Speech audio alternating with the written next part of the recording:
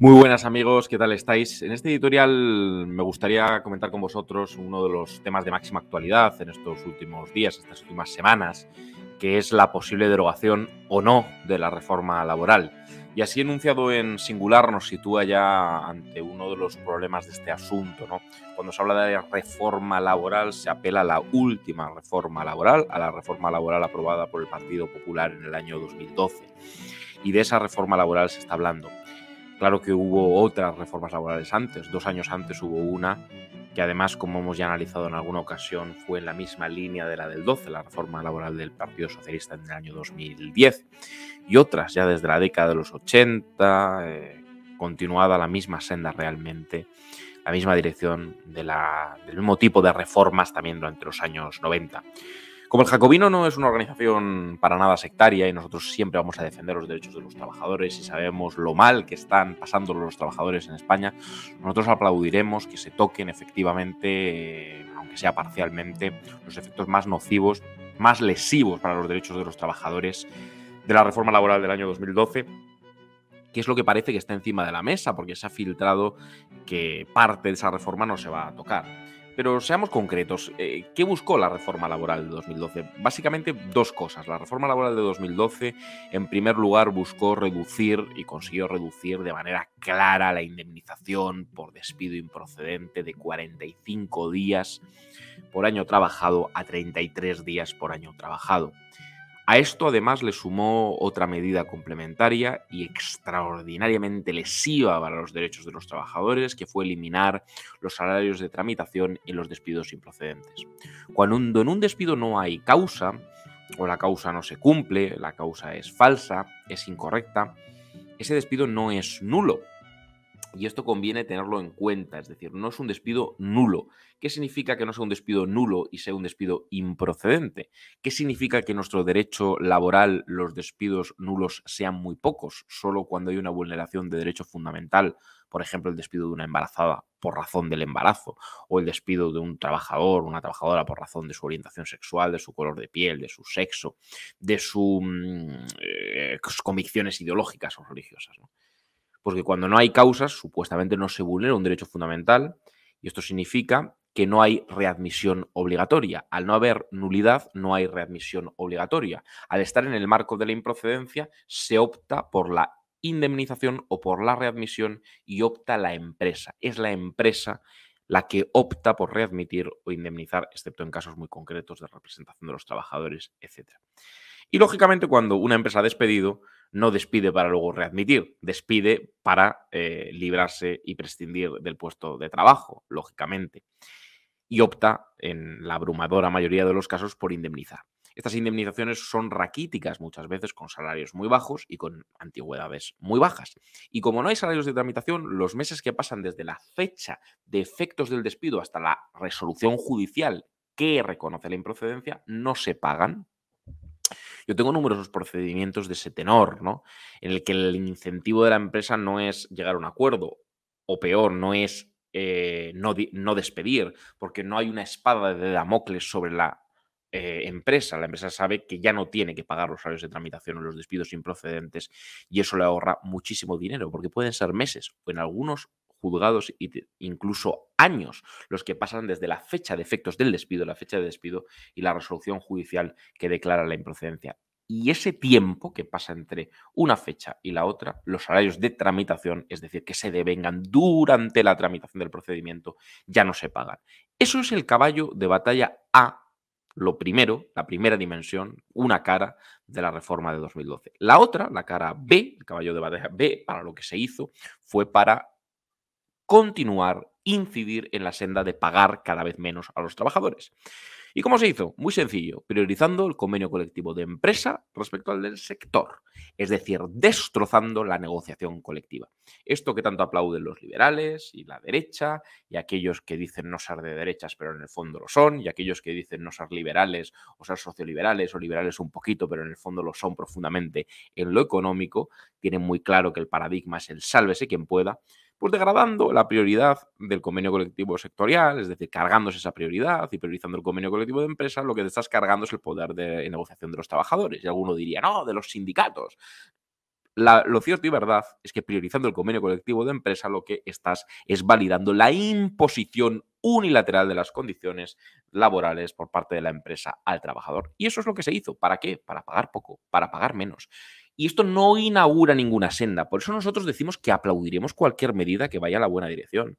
Pero es obligatorio para no engañar a la gente, para no engañarnos nosotros mismos, para no ser tramposos, para no hacernos trampas al solitario, para no, para no mm, quedarnos en el eslogan hueco y manido, decir que en 2012 no se inaugura ninguna senda ni en una cosa ni en otra, ni en la vía de la devaluación salarial y de la degradación de la negociación colectiva y de la filosofía de pagar cuanto menos mejor a los trabajadores, ni en la senda de abaratar el despido para que sea libre y cada vez más barato. En 2010 se abarató también de manera sustancial el despido.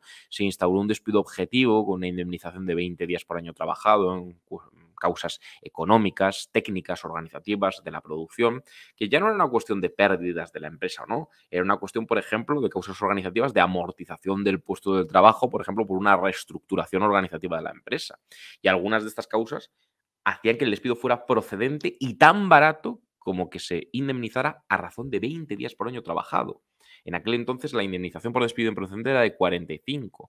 Era rebajarlo, hacer procedentes muchos despidos que de otra manera hubieran sido improcedentes, a más de la, de la mitad de rebaja. Es decir, que fue un abaratamiento del despido absoluto. Esto lo hizo el Partido Socialista. Pero es que a finales de los años 80 se, empieza a inaugurar eh, claramente una senda de liberalización, de desregulación del mercado de trabajo. Todo esto ha ido acentuándose. Por ejemplo, la subcontratación de la propia actividad. Por ejemplo, las ETTs, una gran autopista para el fraude laboral en muchísimos casos. Por ejemplo, la temporalidad. Tenemos numerosos casos de contratos temporales en los que la causa no se controla esto tiene que ver con los derechos, tiene que ver con la estabilidad, tiene que ver con el tema salarial, tiene que ver con las indemnizaciones de despido, porque por supuesto los despidos, eh, es decir, los fines de contrato temporales llevan aparejada otra indemnización mucho menor. Pero esto lo vemos en, en, muchísimos casos. Contratos por obra y servicio de duración determinada. Casi ninguno está suscrito correctamente. Casi ninguno es por obra o servicio determinado. Son prácticamente todos en fraude de ley. Contratos en prácticas, casi todos en fraude de ley.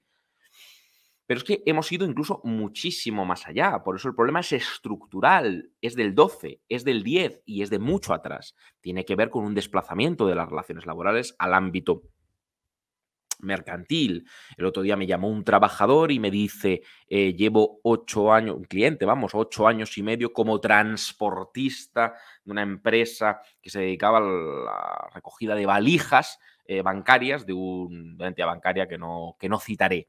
Eh, este señor llevaba ocho años y medio con un mismo horario, con ropa de empresa, eh, con las mismas rutas, trabajando para un mismo cliente y facturando a un mismo cliente.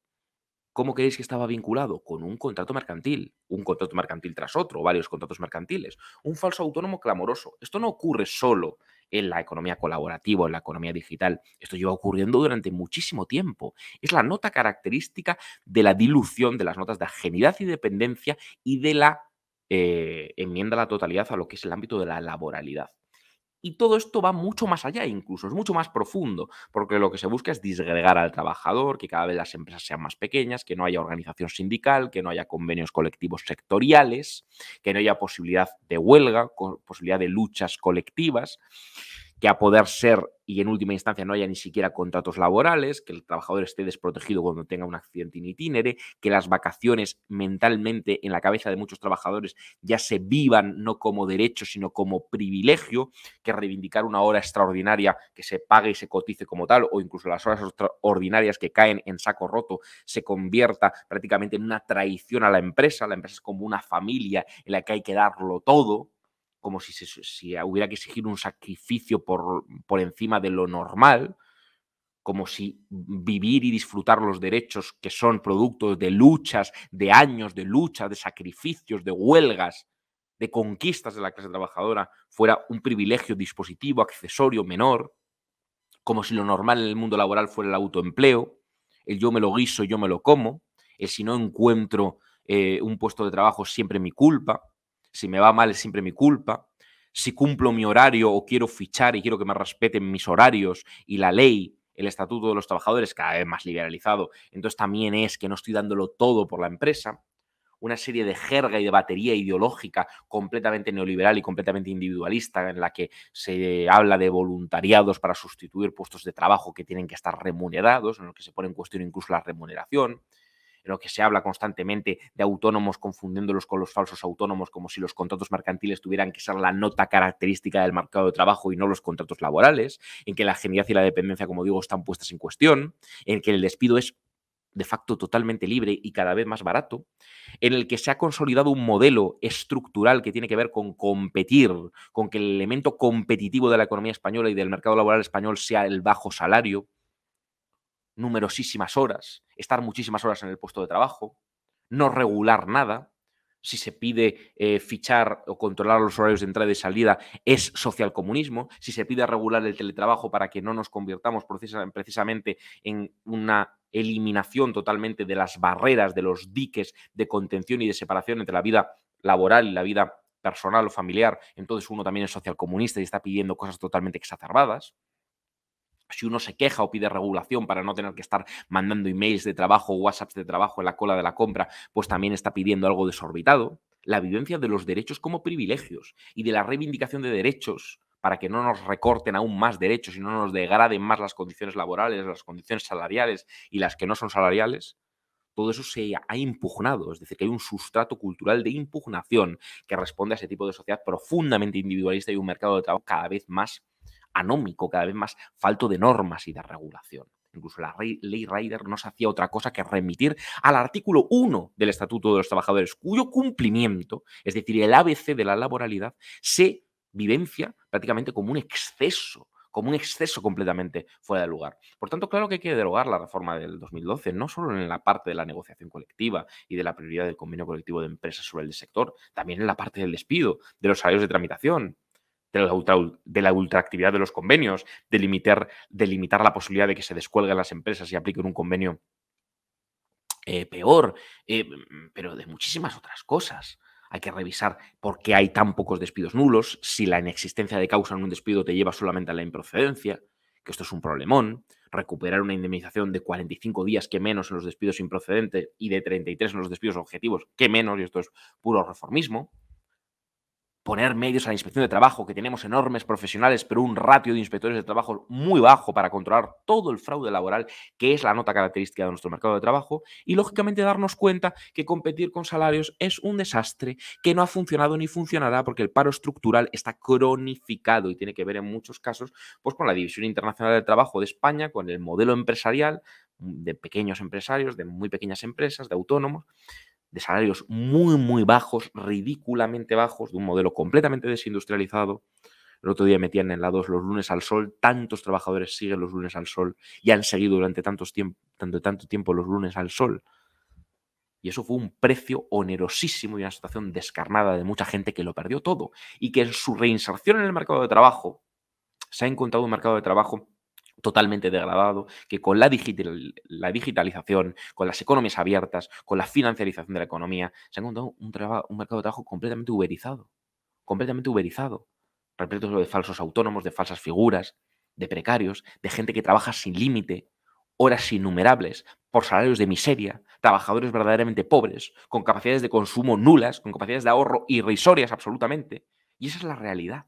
Esa es la realidad, la que reflejan las películas de Ken Loach precisamente el neoliberalismo ha destrozado vidas privadas, porque ha eliminado la frontera entre lo público y lo privado, exponiendo a la gente a que no tenga ni siquiera el derecho a desconectar, a descansar, el descanso semanal, el ocio, las vacaciones.